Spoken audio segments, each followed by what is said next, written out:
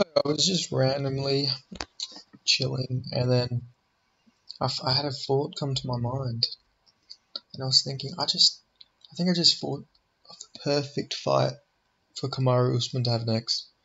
So as you know, Kamaru Usman didn't retire after his fight against Leon Edwards, and he said he was going to come back. And originally he was calling out Hamzat Chimaev for a fight, but Hamzat's moved up to middleweight, and he's fighting Paulo Costa. So I was thinking, now this is a big jump for this for this man, but I was thinking after his win today, Kevin Holland should fight Kamaru Usman. He's going to be about number 12 or 11, maybe 10, depending on where they rank him up. And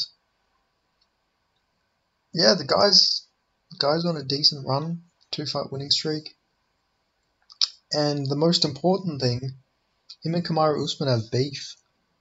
They had an altercation back in November, which I'm not quite sure what the whole story was. Nobody really said, explain what the story was there, but it was between Holland and Usman and then some other guy.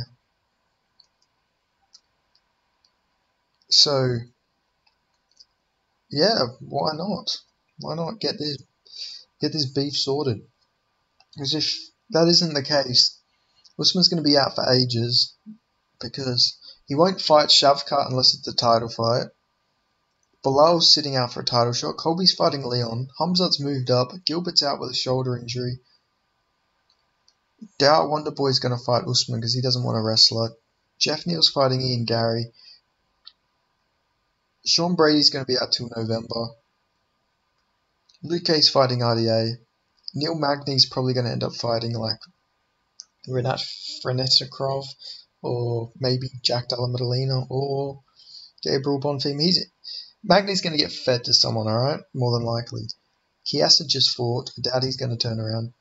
JDM, I doubt Usman's going to come to Sydney. Ian Garry fighting Jeff Neal. Michel Pereira probably going to move up to middleweight.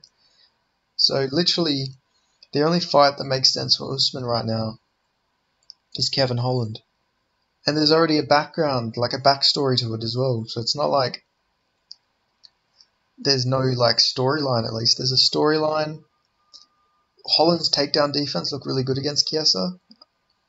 He stuffed all five of Chiesa's takedown, uh, he, all of his takedowns that he shot. So, not saying he would beat Usman, but you know, if Usman shoots and he can't get him down, we might get a striking fight. And Usman's got decent boxing. He's got an alright jab. So we could get a really fun striking fight out of this. Like, I don't know. I feel like it just makes all the sense in the world. Holland's going to be ranked at welterweight for sure after beating Chiesa, so... Unless Usman's content on waiting and waiting, because I don't know who the fuck he's waiting to fight, because Colby vs. Edwards as well is going to be in November. And Belal's just going to be sitting out. And like I've said, Hamzat's going to be fighting in October at middleweight. I doubt, and also I doubt that Burns would want to rematch Usman, or, or Usman would want to rematch Burns while he's training at the same gym again, especially for no title. I feel like that just would be weird, especially because they're like friends. Like I get they fought for a belt, but like it's a little different than just randomly fighting.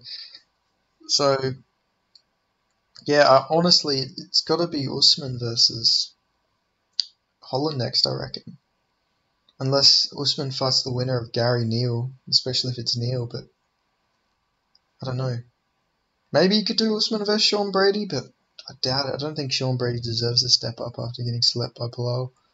But uh, I guess maybe they could do that, but come on, Usman versus Holland makes all the sense in the world, and they have beef. Like I've said, beef. If there's beef, you got to settle that beef. You know, like I don't know. It just seems perfect. Like there's a built-in storyline. Like, get it on a pay-per-view, not like a main event, obviously, but have them fight on like a pay-per-view card. You can have them at a press conference. They'll go back and forth, and then there, it's all written in. That like I don't know. It seems perfect to me. It makes all the sense in the world. Like, yeah, that's what I would do if I was matchmaker. I would do Kevin Holland versus Kamaru Usman at some pay per view. Maybe, maybe you could do it at an MSG in November. That makes sense. And then you could have the you could have one of them be the backup for the Edwards versus Colby fight. You could do Holland as the backup if Colby pulls out. So then you'd have Holland fight Leon, and then if Colby pulls out, you could no, if Leon pulls out, you could make it Usman versus Colby three. Like I don't know, something like that. You know, you know, you know what I mean? Because you don't want to do Usman versus Edwards four. So yeah, maybe you could do something like that, or you could just have Holland, I guess, be the replacement if either pull out. Just because Usman's on a two fight losing streak. But I don't know, you could do something like that, is what I'm saying. Because they'd need a backup. And I don't know, it just make all the sense in the world. But I guess we'll see what happens. But yeah, Holland versus Usman, MSG November makes all the sense in the world to me. But I don't know. We'll see what the UFC do. UFC will probably book Usman versus like Renat or some shit, or have Holland fight fucking Renat some random matchup. But uh, yeah, thanks for listening. Like, comment, subscribe, and uh, yeah, I appreciate anyone who watches this video and likes it. Thank you.